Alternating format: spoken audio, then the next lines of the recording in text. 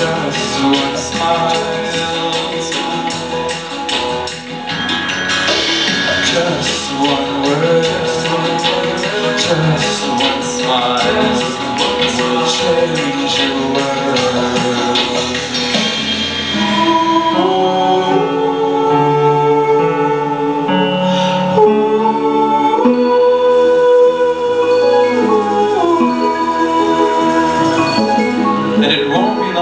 You find yours.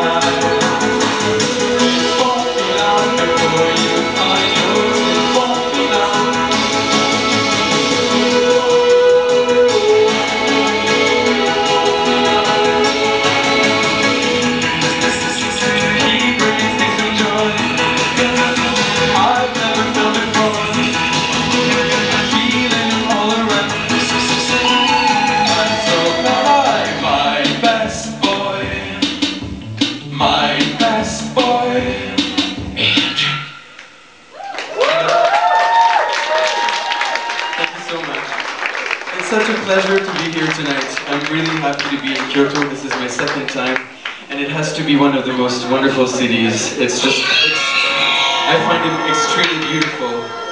This is about global warming.